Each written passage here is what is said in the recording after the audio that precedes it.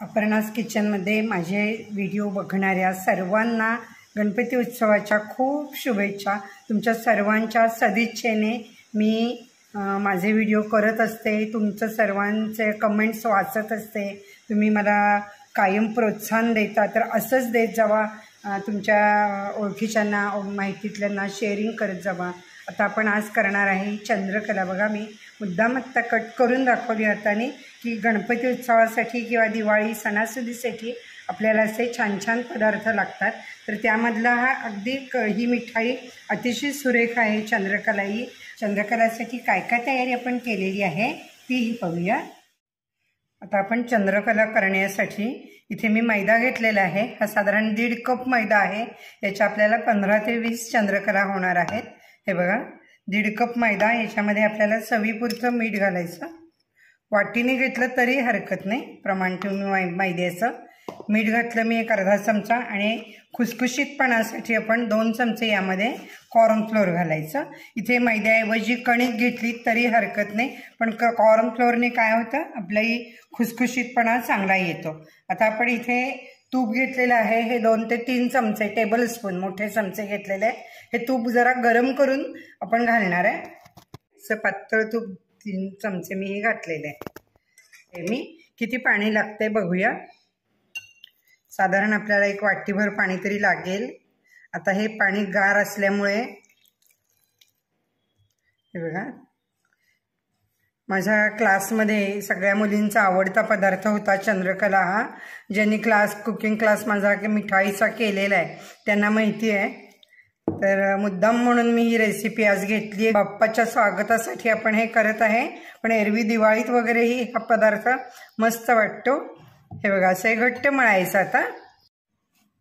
आपलं हे पीठ मळून झालेलं आहे हे बघा. आपण पुरीसाठी साधारण जसं मळतो तसंच मळलेलं आहे. आणि झाकून आपण हे एक पंधरा मिनटं तरी ठेवायचं आहे म्हणजे चांगलं स्ट्रेच होईल आणि त्याच्या पुऱ्याही छो व्यवस्थित होतील. तर तुम्ही शेवटपर्यंत व्हिडिओ पाहिला म्हणजे तुम्हाला यातल्या बारीक सारीक टिप्स आहेत त्या सगळ्या व्यवस्थित कळतील. आता सारणासाठी आपण एक थोडे काजू आणि बदाम असे घेतलेले आहेत. पिस्तेही घेऊ शकता. हे थोडे मी आता बारीक करणार आहे. साधारण एक दहा बारा बदाम आणि एक दहा बारा काजू असे. काजू आणि बदाम आपण हे पहिल्यांदा थोडे रोस्ट करून घेऊया. मी आता दोनशे ग्रॅम खवा घेतलेला आहे बघा. हा इकडच्या भागातला खवा असा सॉफ्ट असतो आणि अतिशय सुरेख चव असते खव्याची. म्हणजे सांगली कोल्हापूर या साईडचा वाडीचा खवा असा गुलाबी असतो. आणि आपला पुण्यातला सातारा या भागातला खवा मुंबईचा कोरडा असतो. तर तुमचा खवा शक्यतो ताजा पाहिजे म्हणजे टेस्ट छान येते. आणि थोडंसं गरम करून घ्यायचं. मुळात ऑइली असतो खवा त्यामुळे त्याला वेगळं तूप घालायची गरज नाही आहे एक दोन तीन मिनटं आपण असा खवा थोडा परतून घ्यायचा. म्हणजे त्याचा खमंग वास येतो थोडा. दोनशे ग्रॅम खवा होता. मी शंभर ग्रॅम साखर घेतली ही. साधारण अर्धी वाटी. थोडं कमी जरी तुम्हाला हवं असेल तरीही चालू शकेल. सारणासाठी आपण हे करतो आहे आणि मग मगाशी भाजलेली ड्रायफ्रुट्स आपण घालायचे. खवा चांगला भाजला गेला आहे साखर विरघळलेली आहे. यामध्ये आपण हे मगाशी केलेले ड्रायफ्रुट्स घालायचे. त्यानंतर वेलदोड्याची पावडर. आणि आता गॅस बंद करायचा आणि हे गार होऊ द्यायचं. गॅस आपण झाकून ठेवलेला होता मगाशी मैदा मळलेला. इथे तुम्ही कणिकही घेऊ शकता म्हटलं मी. तर आता हा कसा झाला आहे बघा. थोडं सैल वाटला आपल्याला तर आपण इथे ठेवते निम्मा मी. थोडं मी मैदा यामध्ये घालून थोडं घट्ट करून घेऊ शकते. आत्ता आहे हे व्यवस्थित पण तरी तुम्हाला हे बघा असं बघायचं आहे. आणि एकसारखं आपण इथे मळून घ्यायचं. याचे साधारण आपण तीन ते चार गोळे करूया. इकडे मी हा ठेवलेला आहे थोडा.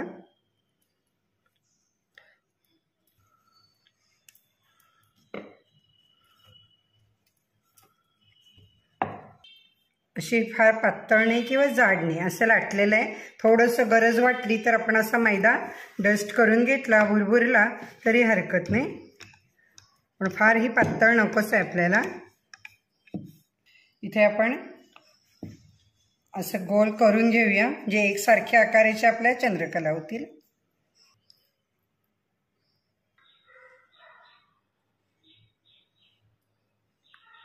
आता हे आपण लाटलेलं घेतलेलं आहे. हे बघा इथे आपण सारण घालायचं यामध्ये. आणि त्यावरती हे दुसरी पारीही ठेवायची तुम्हाला तर हवा तेवढा साईज तुम्ही इथे करू शकता. आपण इथे मुरड घालायची हे बघा. पहिल्यांदा असं दाबून घ्यायचं आपण. आपल्या महाराष्ट्रीयन पदार्थामध्ये मुरड घालण्याला खूप महत्त्व आहे. पूर्वी चिरणी नसायची म्हणून बायका मुरड घालायच्या वेगळ्या वेगळ्या पद्धतीने. तर मुरड कशी घालतात? सुरुवातीला दाखवते मी. चिमटा पण काढतो तसं चिमटी तसं दाबायचं आहे आपण आणि हे फोल्ड करायची पहिली. परत हे फोल्ड करायचं. बघा. पुन्हा हे ओढायचं असं चिमटीने जोरात आणि फोल्ड करायचं. असं जेवढं तुम्ही जवळजवळ आपण घालू तेवढी अशी मुरडी छान येते. चिमटा काढतो तसंच हे ओढायचं. तर इथे मी फोल्ड केलं पुन्हा हे मी बघा दिसते तुम्हाला इकडे आलेली? तर अशी मुरड ही अगदी पारंपरिक आहे ही. आणि एकसारखं आपण गोल केले वाटीने की ते व्यवस्थित येतं. हे बघा. पटपट करायचं म्हणजे ते व्यवस्थित होतात. बघा आता दुसरी घेतलेली आहे मी ही. आता परत दाखवते मी. ह्याचा चिमटा काढायचा. हे बघा ओढायचं चिमटीत हे म्हणून आपण इथे हे पीठ चांगलं भिजलं पाहिजे. पंधरा वीस मिनटातच भिजतं आपलं. हे बघा.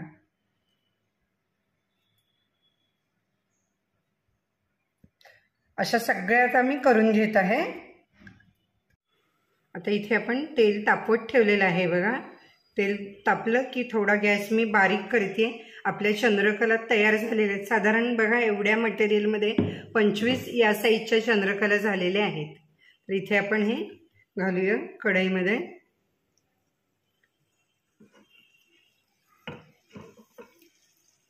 मुद्दाम मी अशी पसरट कढई घेतलेली आहे. जे मला एकदम भरपूर घालता येतात. चकलीला कसं आपण पसरट कढई घेतो तसं. तुम्ही जर सबस्क्राईब केलं नसाल अजून तर जरूर सबस्क्राईब करा. म्हणजे तुम्हाला लगेच व्हिडिओ आपले येत जातील. आता तळल्यानंतर चंद्रकलाचं पुढं काय करायचं? शेवटपर्यंत व्हिडिओ पाहिलात की तुम्हाला कळेल?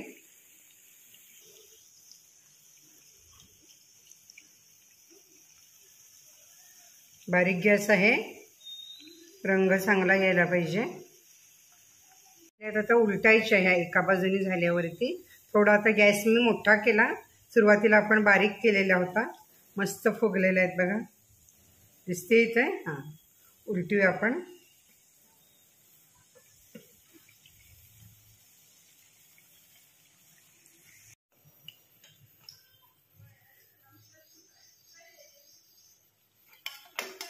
अशा आपण काढून घेऊया.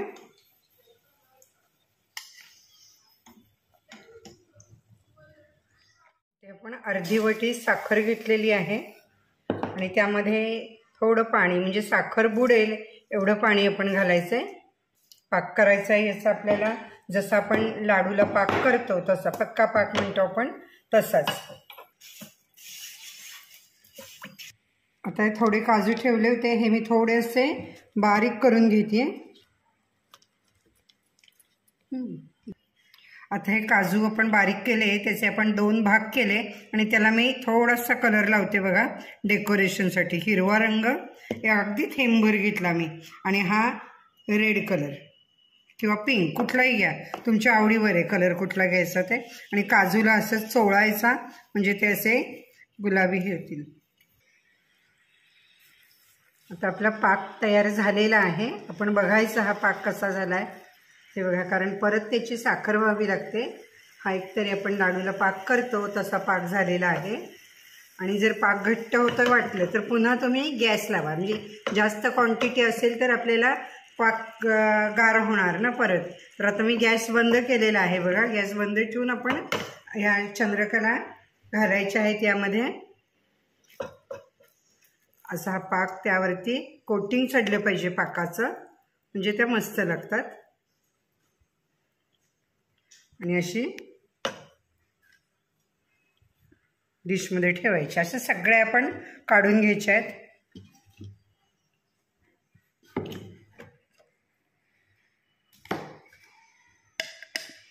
प्रभू चंद्रकलांना असं आपण करून घ्यायचं आहे.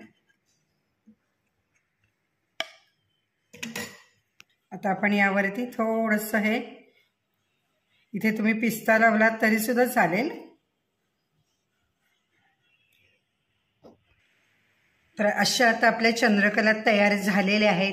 तर तुम्ही सगळ्यांनी व्हिडिओ शेवटपर्यंत पाहिलात त्याबद्दल मी आभारी आहे. आणि मला कमेंट्स करून सांगा रेसिपी कशी वाटते आहे. आणि तुम्हाला काही खास शिकायचं असेल तरीही सांगा तुम्ही.